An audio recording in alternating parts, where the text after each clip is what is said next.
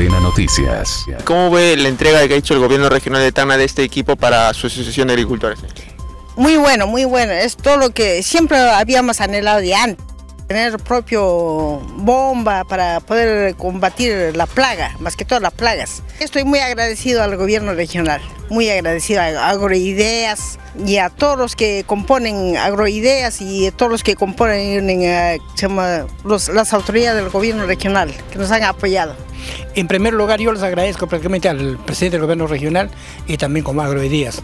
Creo que para nosotros es un, anhelo que nosotros teníamos como agricultores. Realmente a veces, en mucho tiempo, ningún gobierno regional ni alcalde provincial nunca nos han apoyado prácticamente ¿no? para que se podamos fortalecer la agricultura. Pero hoy en día ha sido la realidad de este proyecto. Yo les agradezco sinceramente a todos los, como Agroidías, vuelvo a decir, y como gobierno regional. la plaga, son, ha aparecido bastantes plagas. Entonces, yo ahora y tenemos, contamos con nuestra maquinaria, yo creo que vamos a contrarrestar las plagas. Y doy muchas gracias al gobierno regional por haber apoyado que la mosca de la fruta está apareciendo.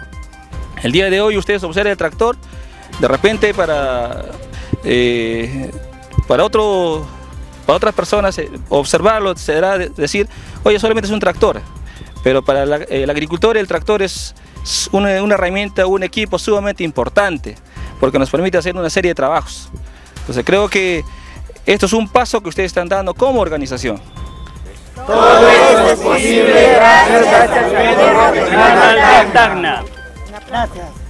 Antena Noticias.